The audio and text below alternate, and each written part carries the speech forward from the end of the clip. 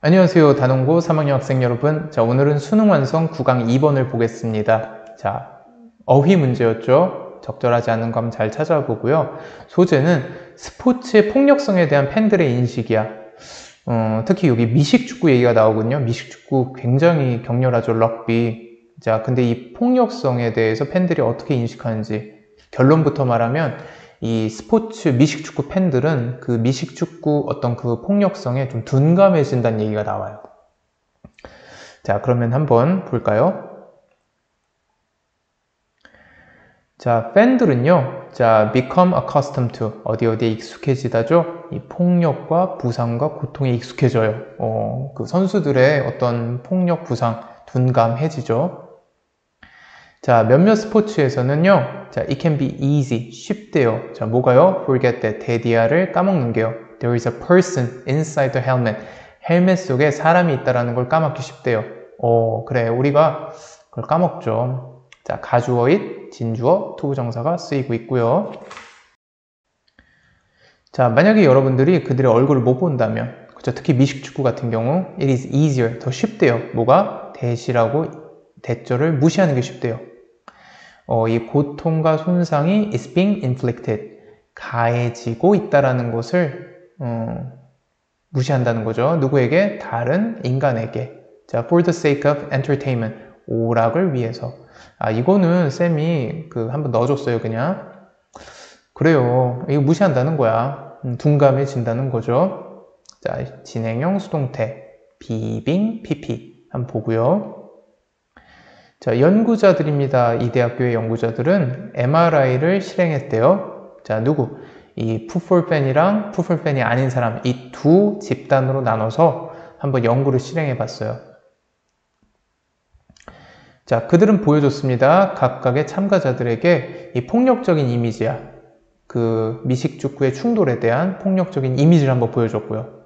자, 그 다음에는 폭력적인 이미지인데요. 이거는 뭐다? 아, 이 축구와 unrelated, 무관한 이미지를 한번 보여줬어요. 자, 각각의 참가자에게 보여준 건 두 가지 이미지죠. 첫 번째는 뭐라고요?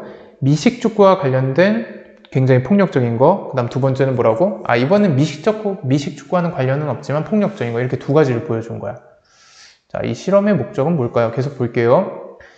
자, 팬이 아닌 사람들이야. 이 사람들은 react, 반응했다. 똑같이 반응했어요. 자, 뭐에? 각각의 그 폭력적인 이미지들에게 no matter what 무엇이든 간에 그 폭력의 근원이 무엇이든 간에 즉 두 장의 사진 모두에게 다 똑같은 어우 뭐야 징그러 이런 반응을 보였다는 거야. 근데 자 여기부터 중요하죠. 이 미식축구 팬들은요 different reaction 다른 반응을 보였대요. 자이 뇌의 영역입니다. involved in 어디 어디에 관여하는 이런 뜻이죠. 이 공감과 이 고통의 perception, 지각에 관여하는 그 뇌의 영역이야. 요게 were activated, 활성화되었대요. in their brain. 뇌 속에서. 자, 그들이, 어, 이 축구와 unrelated, 관계가 없는 그런 어떤 폭력적인 이미지를 봤을 때는, 그래, 축구와 관계가 없을 때는, 어우, 이게 뭐야, 끔찍해. 이게 됐다는 거야. 자, 그러나, those reason, 그 지역이, 그 영역이 were not activated. 활성화가 안 됐어요. 뭐 할 때 그들이 아 과격한 축구 이미지를 볼 때는요. 아 축구는 둔감해진 거죠. 자 그래요. 여기 보면은 ed 과거 분사가 계속 뒤에서 꾸며주고 있는 게 보입니다. 아 그러니까 팬들은요 may pp 뭐뭐였을지도 모른다 과거에 대한 약간 추측이라고 했죠. 아 이 폭력에 더 주의를 기울였을지도 모른대요. 자 그들이 자 만약에 그것이 미식축구 환경일 때 답은 뭐죠? 아, 5번이 틀렸죠. 주의를 기울이는, 여기 틀렸습니다. 어, 주의를 기울이는 게 아니라 폭력에 둔감해졌을지도 모른다. 둔감해지다라는 뜻을 가진 5번으로 바꿔야겠네요. 자, 이러한 연구 결과는요. 자, likely, 뭐뭐일 것 같대요. 자, 다른 스포츠에도 apply to 적용될 수 있을 것 같대요. 그렇죠? 아, 미식축구엔 둔감해지는 거야.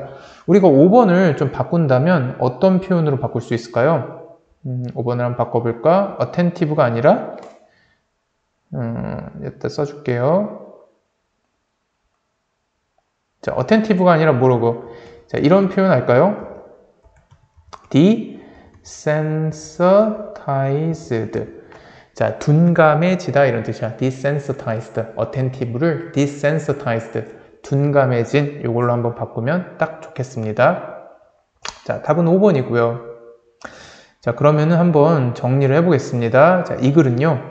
스포츠 팬들의 스포츠에 대한 폭력에 대한 반응인데요. 스포츠 팬은 어, 팬은 스포츠 내 폭력과 고통에 익숙해진 거야. 둔감해져.